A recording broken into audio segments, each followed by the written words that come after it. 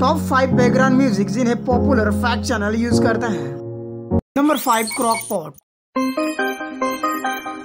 number four into the maze number three Hindi countdown number two alpha fact background music number one just background music